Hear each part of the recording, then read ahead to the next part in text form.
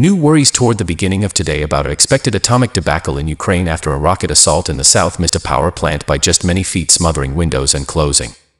Down electrical cables this is an alternate atomic office than the one in Zaporizhia that went under rehashed assaults in the meantime it seems Ukraine has recovered more land in the Upper East than first suspected in the wake of contrasting it with the size of Delaware last week the State Division presently says the recovered region is the size of Delaware and Rhode Island. Well you can see that the Ukrainian military are extremely dynamic still in this region which they as of late took and that it they're presently attempting to lightning hostile to merge their benefit Russia is. Battling to track down newcomers in video flowing on the web of Vladimir Putin partner is seen offering Russian detainees an exoneration on the off chance that they go to battle in Ukraine however, a senior U. S safeguard official says a large number of the convicts have declined and in one more disaster for Putin a Russian pop symbol is presently taking a stand in opposition to the conflict Alla Pugacheva seen here with Putin in.